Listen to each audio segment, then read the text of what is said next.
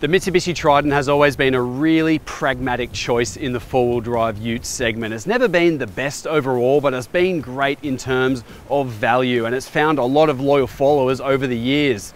Well, we've got a new model now. This is bigger, it's got more tech, it's got more power, it's got more torque, but of course it's more expensive as well. So does this model continue that trend of being a really, really good value choice in the segment, or is it now fighting further up the field in terms of being a premium offering? We're getting a chance to get behind the wheel on-road and off-road today. Let's have a closer look at the new Mitsubishi Triton. The next generation Mitsubishi Triton is on sale now and is rolling into dealerships around the country as you're watching this video. It's priced from $43,690 plus on-road costs as a two-wheel drive double cab model, while the cheapest four-wheel drive double cab is $50,940, which is also plus on-road costs. This spec is called GLX, and at the other end of the spectrum is GSR, top specification, and that is priced from $63,840, also plus on roads. But for the full rundown of pricing and specification for this new Triton, head over to our website at drive.com.au. This new Triton is a fully new generation all over. It's wider and longer than what it replaces with an increased wheelbase and higher GVM. The ladder chassis is bigger and thicker, and Australian delivered models also get a specific suspension tune for our market. There's an electrically assisted steering system, more safety equipment, more technology, and an upgraded infotainment system. One engine is shared across the range, which is a 2.4 litre twin turbocharged diesel four cylinder unit. It makes 150 kilowatts and 470 newton meters, running through a six speed automatic transmission but a manual gearbox will be offered in the future in lower specification grades. GLS and GSR specification models get Super Select 2 four-wheel drive systems, while the GLX and GLX Plus get a more rudimentary part-time four-wheel drive system. Here's the interior of the new Triton and it's very easy to see that this is a massive improvement over the previous generation model. The Triton is longer now and it's wider and you do get that sense when you're in the cabin here. It feels a bit more comfortable but also more spacious and absolutely a lot more modern. A lot of that comes from the infotainment display. That's a nine inch display there.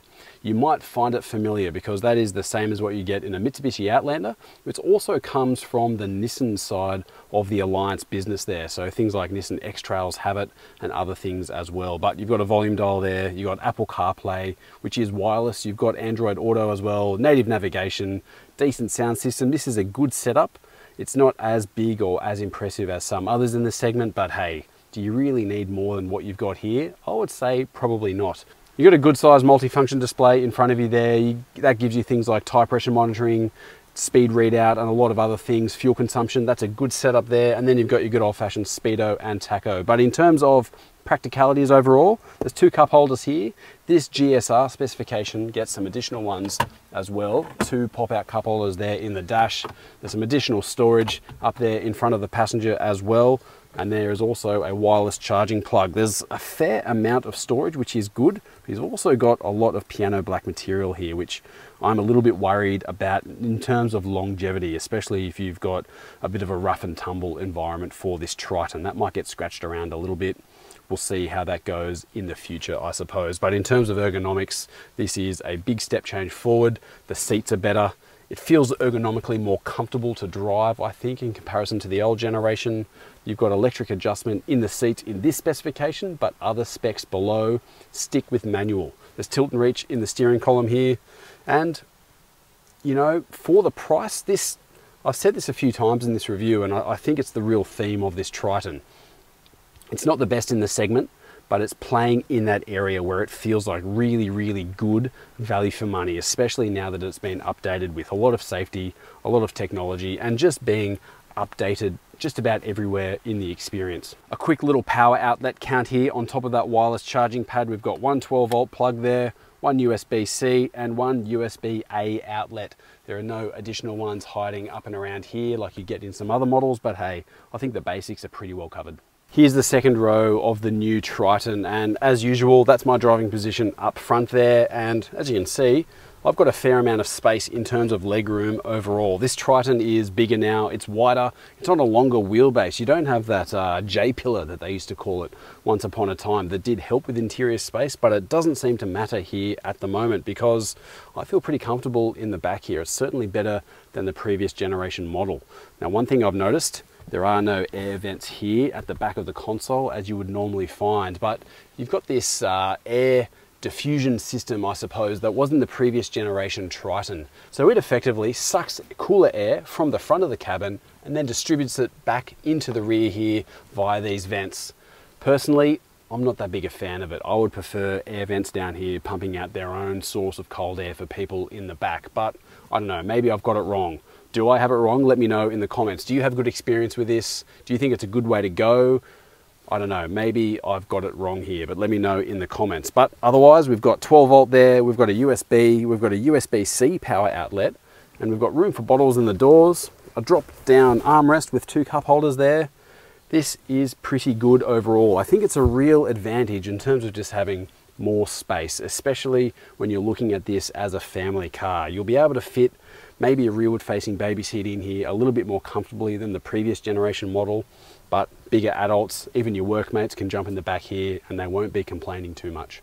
Let's have a look at the tub setup of this Triton and take note this is the GSR, so effectively all you can eat in the Triton range. First thing to call out here, when I lock the car, press the lock button there, the tailgate still doesn't lock because it doesn't work on central locking. Instead, you have to pop out the key from the fob there, put it in, turn it one way or the other. There you go, now it is locked, but there are other utes in the segment that have this tailgate operating on the entire car. So you hit the lock, hit the unlock button, and it does the rest.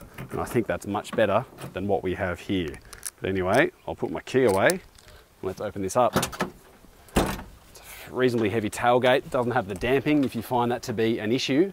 But also there are no power outlets in the back here. We do have a tub liner, which is great to have. There's four tie down points, but you could probably argue that this car is a little bit lacking in features in the tub in comparison to some others in the segment that have really pushed the game forward in this regard.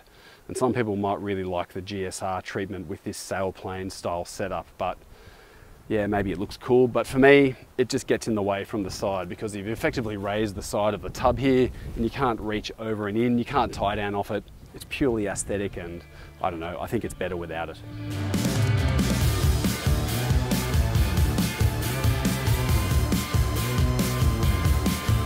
Well, it's the same 2.4 litre turbo diesel engine, but now it's got a second turbocharger. And it's the same six speed automatic gearbox as well, but those ratios have been tweaked around a fair bit. And you're left with a car that's got definitely an improvement over the previous generation. It's got 150 kilowatts now, 470 newton meters, really good numbers, I think, for a four cylinder turbo diesel. It's still not the best in the segment in that regard. I mean, there are V6 diesels that are the next level up, I think, but you can find other four cylinders that have more outright power than this one here. But I've got to say, in application, this does feel like a well sorted powertrain. That extra turbocharger, a smaller turbocharger, means that initial response feels better as you press the throttle. There's more torque available lower in the rev range. And up towards the higher end of the rev range, it doesn't feel particularly great. I mean, no diesel loves to rev that much, and this is the same case here. So it's much happier to lug along at around 2000 RPM, something like that, and it feels pretty solid. The new electric power steering system feels nicely weighted. In situations like this, I'm driving around off-road at low speeds at the moment. It feels light, it's easy to throw around, feels well weighted, but on the road as well. This Triton, it feels a little bit more premium now. It's got that lighter steering feel, but it still feels nice and direct and responsive through the steering column. Well weighted, I think, for the application.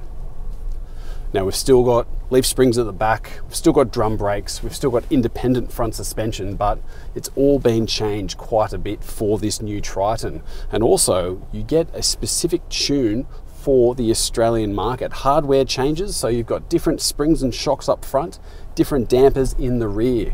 And this car I'm driving at the moment, this is a GSR, but this model and also the GLS gets a softer spring in the back for a little bit more ride compliance around town.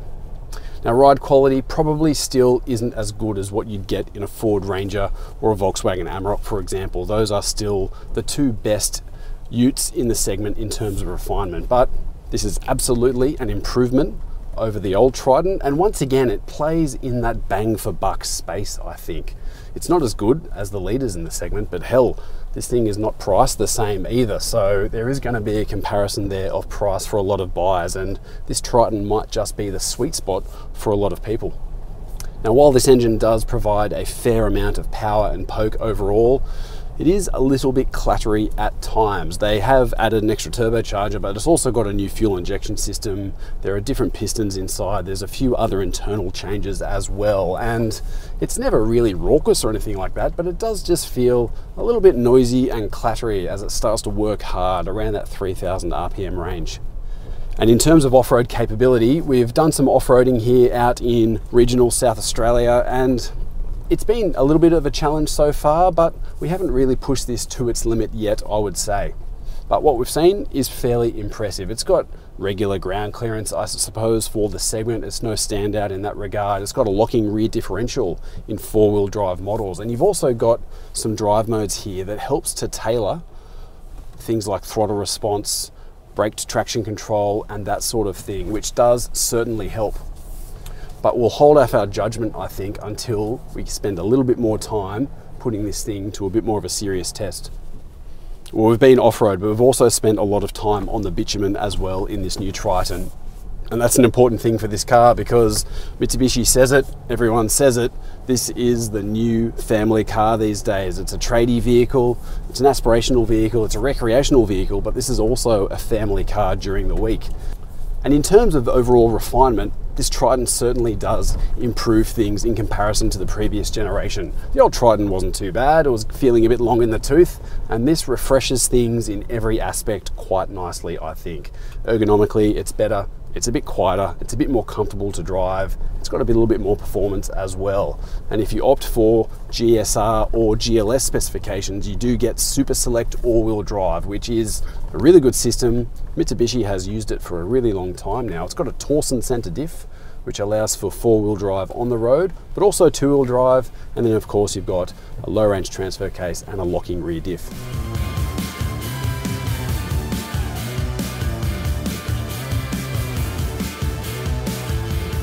Well, as you'd expect, this new Triton is better in just about every respect than the previous generation model. I love the fact that there's safety across the range. The engine and gearbox does feel good in application, but at the same time, there are some things that I don't like about it. But I've got to say, it is kind of forgivable when you put the price into the equation. This isn't competing with a Ranger Wildtrak, even though it does kind of have the same paint color. It's a lot cheaper, and in that vein, I think this Triton will continue to be a really popular choice for those people who want a nice ute, they want a really good ute, but they don't want to spend the earth. This, this does feel like a bit of a sweet spot. Now, one thing we don't know is a bit more about off-road capability, and we're going to do more payload and off-road and towing tests in the future. So stay tuned for that. But initial impressions of this Triton is so far, so good.